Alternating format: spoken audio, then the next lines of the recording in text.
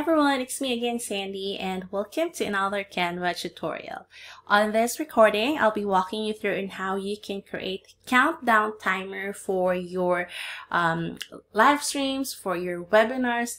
So it will actually help you if you wanted to give your audience some time to get ready before the actual um, live stream or webinar starts. So probably you wanted to give them like a minute or two and then you can create that timer on Canva, just like the countdown timer shown in the beginning of my video.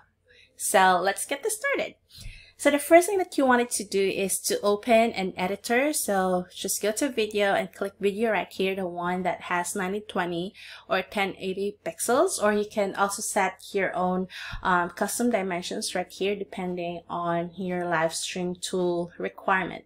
But usually the 1920 to 10 by 1080 pixels works well with most of live streaming tools. So you can go ahead and use this. So click on that and it will open your editor. Once your editor is up, just go to videos right here and then type in countdown.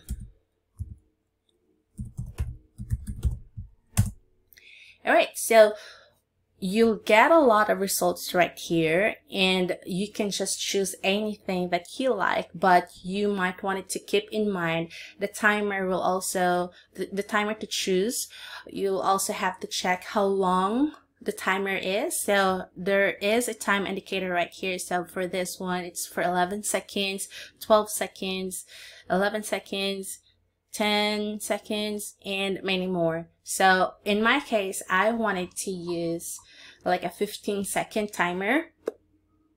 And I'm looking for something white because my branding is uh, has has this minimalist feel. So I wanted something in white and let me just go back to my videos because I have something there that I've already used. So I wanted to use this. So this is actually a one minute video but since I just wanted to use um, 15 seconds so I'm cropping this. So just crop. Oh sorry. Trim not crop. Sorry about that. And then just move it to your desired uh, your desired timer. So in my case I wanted the 15 seconds so here we go. Okay that's 15 seconds. Okay let me just all right then adjust it so and I wanted something like probably an element. So just go to elements right here.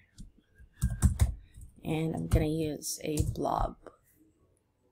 Like I wanted to use something that's dripping just to give um, my countdown timer a design. Alright, so I wanted to use something like this. So it matches the video, but we have to change the background so that the colors will be shown. So I'm changing this to my brand color, which is this one. And as you notice, this figure right here has a background. So we cannot remove this. So what we're going to do is to put it on a frame. So I'm to go to circle and use this frame right here. Okay, and then drag this video, sorry, this video right into the frame. All right. So I'm gonna need to, I think I need to trim this again. Alright, so no need. That is already set to 15 seconds. Okay, there we go. So if you notice, this gives like an effect that it's dripping on my timer right here. So I'm going to place it there. Okay, and then you can type in here like any text that you wanted, like if you wanted to promote your website while they are waiting. So I'm gonna type in that. Hmm. All right. So once it's done, you can actually preview this. All right, there you go. Then finally, you can add some music.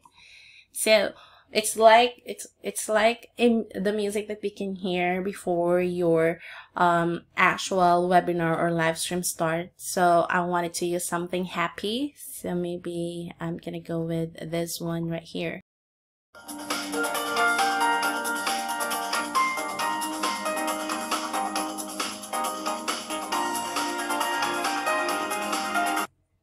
So these musics are actually in Can in Canva Pro is a Canva Pro feature.